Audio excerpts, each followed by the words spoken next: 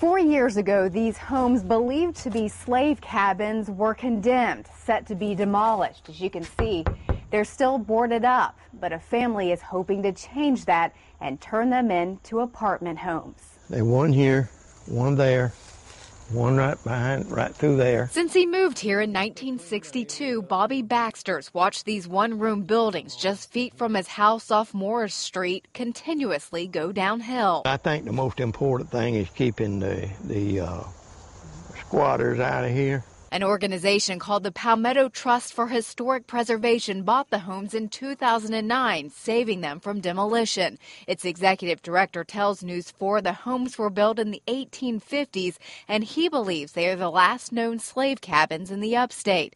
And now a family out of Columbia is hoping to breathe new life into them. That's such a part of our American history that, you know, you can't you have to recognize that. Chuck Corley is under contract to buy the buildings. He's already renovated other historic sites in the state at Lemons Hill Plantation and Corley Hall and is hoping to turn these into apartments, spending between fifty and a hundred thousand dollars to renovate them. We're not going to change the footprint or anything like that because we can't do that on the outside. Um, we want to save, you know, in as in as pure a form as we can save.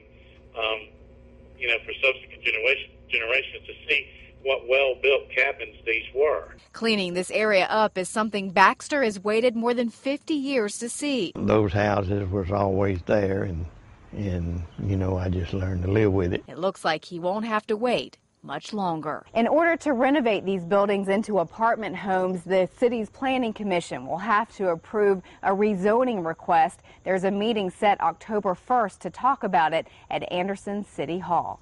Mandy Gaither, WYFF News 4 in Anderson.